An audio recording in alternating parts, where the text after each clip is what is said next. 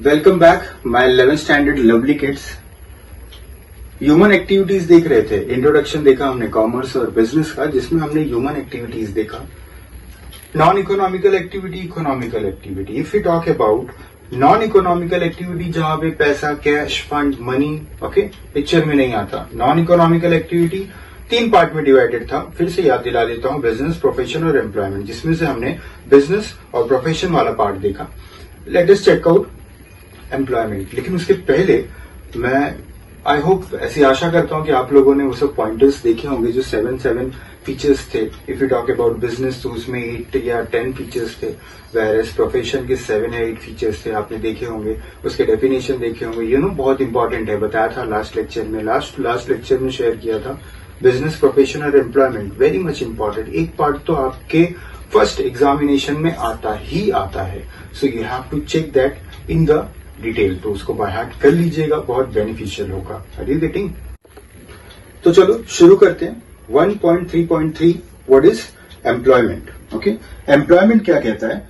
It is an economical activity in which people work for other क्या करता है? ये भी एक इकोनॉमिकल एक्टिविटी है, जिसमें पैसे का लेन देन होता है। There is a transaction of money are you getting तो एक बंदा दूसरे बंदे के लिए इसके अंदर काम करता है okay there is relationship between two दो लोगों का रिश्ता होता है, यहाँ पे एक होता है एम्प्लॉयर दूसरा होता है एम्प्लॉय चलो देखते हैं, ये एम्प्लॉयर कौन होता है? Employer is a person who offers the work and a person who accept the work is employ जो व्यक्ति काम देता है, क्या करता है? काम देता है देता है। वो कौन होता है? वो एम्प्लॉयर होता है और जो काम को ले लेता है, काम करता है वो कौन होता है? एम्प्लॉय होता है। क्यों करते हैं ऐसे? कोई लव एंड अफेक्शन में?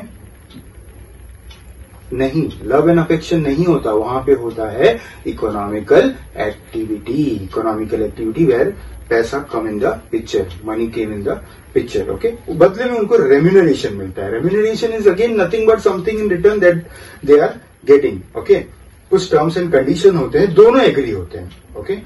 जैसे फॉर एन एग्ज़ाम्पल उस टर्म्स एंड कंडीशन में दोनों को एग्री क्यों होना पड़ता है, उसके पीछे भी रीजन होता है। आप किसी को बोल रहे हो कि ये पूरा एक खेत है, इसको क्लीन कर दो, और पूरे उस खेत को क्लीन करने के लिए मैं आपको दो सौ रुपये दूँगा।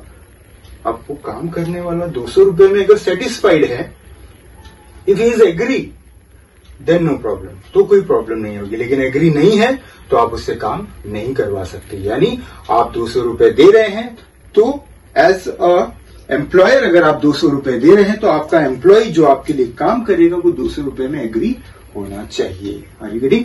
इसलिए यहाँ पे उन्होंने क्या दिया है? दोनों का टर्म्स और कंडीशन क्या होना चाहिए? एग्रीड होना चाहिए। दोनों को मानना चाहिए ओके चलो let us see features okay हमने देख लिया एम्प्लॉयमेंट क्या है एम्प्लॉयर एम्प्लॉय किसे कहते हैं?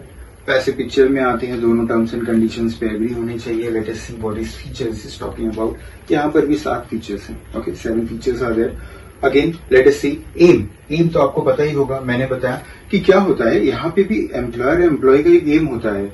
जो एम्प्लॉय होता है, उसके पास कुछ काम होता है। तो वो चाहता है कि ये काम कोई करे, उसके लिए, उसके बिहाव पे। ओके और जो एम्प्लॉयर्स होते हैं, उनका क्या एम है कि उनको पता है मैं काम करूँगा तो मुझे इन टर्म पैसा मिलेगा। तो यहाँ पे भी इन शॉर्ट एम का मेन मतलब मकसद क्या है यहाँ पे? जो एम है, जो गोल है, क्या अचीव करना है? There is achieve something is nothing but and money money earn करना ही यहाँ का भी मेन इंपॉर्टेंट है। Okay okay? कोई फ्री में किसी के लिए काम नहीं करता। Are you waiting let us see qualification second point qualification क्या बता रहा है? Each job require some qualification किसी भी जॉब को करने के लिए आपको उसका नॉलेज होना चाहिए, यानी कोई ना कोई क्वालिफिकेशन होनी चाहिए।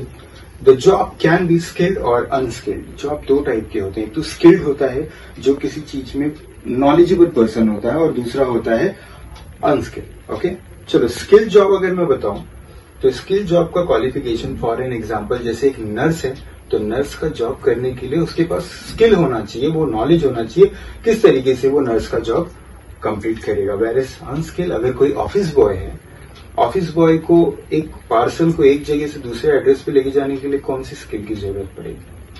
कोई बड़ा एमबीए करना पड़ेगा उसके लिए? नहीं। सिंपली वो क्या करेगा? मूव करेगा। तीसरा पॉइंट क्या कहता है? मॉनिटरी रिटर्न थोड़ा सा मैंने ये ना एक झांकी दिखाई थी आपको। ओके क्या झांकी दिखाई थी लास्ट लेक्चर में? याद है?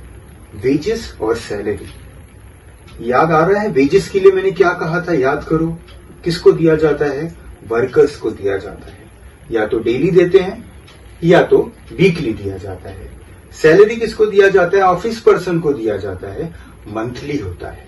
ओके और हाँ अगर मैं आपको बताऊँ तो जो सैलराइड पर्सन होते हैं ना, उनको थोड़े बहुत ऑफर्स होते हैं। जैसे उनका यू नो जिस जिस घर में वो स्टे करते हैं तो उनको क्वार्टर दे दिया जाता है ओके रहने के लिए वेर इज़ सब्सिडाइज फ़ूड दिया जाता है ओके उनको खाने की फैसिलिटी उनको एक अच्छा कैंटीन दे दिया जाएगा ओके ये किसके तरफ़ से दिया जाता है? उनके यू नो एम्प्लॉयज़ की तरफ़ से दिया जाता है एम्प्लॉय को। यहाँ पर भी थर्ड पॉइंट में लिखा है, वही मॉनिटरी रिटर्न मैं रीड करता हूँ, देखिए, जो मैंने कहा मैच होता है यानी Wages or salary is given as a financial return to employee after completing of work.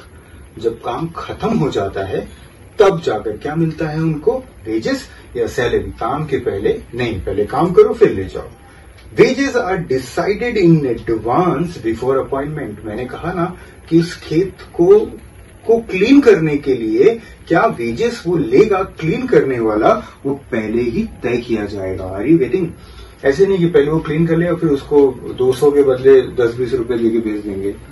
नहीं चौदह के लिए नहीं चलेगी। पहले ही डिसाइड करना पड़ेगा। ओके सो so, जैसे मैंने बताया आगे का पॉइंट यहाँ पे वेजेस आर पेड डेली और वीकली ओके ये डेली पे होता है या फिर वीकली पे होता है salary is paid monthly. Salary को कैसे पे करते हैं? मंथली पे करते हैं वेर एज वेजेस कैसे पे, पे होता है? डेली या मंथली। आगे भी वही लिखा है along the salary other benefits उनको अलग से बेनिफिट दिया जाता है जैसे सैलरी के साथ बोनस दे दिया okay okay?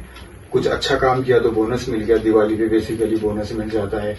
Cotton to stay okay रहने के लिए उनको घर दे दिया सब्सिडाइज फ़ूड दे दिया। कहाँ पर सब्सिडाइज फ़ूड दिया? कैंटीन में ओके जो आपको खाना बाहर सौ रुपए का मिलेगा, आपके ऑफ़िस का कोई कैंटीन होगा तो वहाँ पे वो आपको पचास रुपए में भी मिल सकता है ओके फोर्थ पॉइंट कहता है कैपिटल अब यहाँ पे एम्प्लॉयमेंट के लिए if you talk about employ जो काम कर रहा है, उसको कैपिटल की ज़रूरत नहीं है। क्योंकि जो काम करवाएगा ना, वो खुद ही क्या करेगा आपको पता है? सारा इंतज़ाम करके उसको देगा। ओके कैपिटल किसका लगेगा? जो मालिक होगा, जो एम्प्लॉयर होगा। यहाँ पर भी फोर्थ पॉइंट में वही लिखा है no capital is required for employment because employ provide each and everything to employ for completing the job job complete करने के लिए सारी चीज़ें मुहैया कराता है एम्प्लॉयर एम्प्लॉई को। Okay let us see lovely student fifth point registration यहाँ पे क्या कह रहे हैं? No registration is required every employ has to follow the rules and regulation maintained in the terms and condition of employment contract कोई registration कोई you know government के पास जाके कोई रजिस्ट्रेशन नहीं करवाना है। सारे रूल्स एंड रेगुलेशन जो भी मालिक देगा ओके okay, उसको सिर्फ़ फॉलो करना है ओके okay? एम्प्लॉयज़ को उस रूल्स एंड रेगुलेशन के साथ मूव ऑफ़ मूव ऑन करना है जो कॉन्ट्रैक्ट में मेंशन होगा। Non transferability same last time मैंने बताया था कि क्या कोई डॉक्टर अपनी चीज़ों को पास ऑन कर सकता है? शायद सिर्फ़ दवाइयाँ दे सकता है अपने नॉलेज को नहीं दे सकता। यहाँ पर भी वही है कि जो भी वो वर्क करते हैं वो ट्रांसफ़र उनके सन या डॉटर को नहीं किया जा सकता। Let us see seventh point, nature of work. Every employee is expected to the work सारे जो भी एम्प्लॉय होते हैं उनसे एक एक्सपेक्टेशन होती है कि वो क्या करे उस काम को खत्म करे। Okay okay? जो भी काम उनको दिया जाता है। और द नेचर ऑफ़ वर्क और you can say the nature of job is decided the nature of work जो नेचर ऑफ़ उनका जॉब होता है, जो काम होता है, वही डिसाइड होता है as a nature of work okay so this is about the part हमने तीनों पार्ट कवर किया बिज़नेस प्रोफेशन और एम्प्लॉयमेंट जो किस एक्टिविटी में था आपको याद? It is in the economical activity तो मैंने वीडियो की स्टार्टिंग में ही कहा था, ध्यान से देखिएगा और इन तीनों पॉइंट को आई होप आप अच्छे से थरो कर लेंगे मेरा नेक्स्ट वीडियो आप तक पहुँचने तक। आर यू गेटिंग तब तक के लिए देखते रहिए, हँसते रहिए और मुस्कुराते रहिए। Bye bye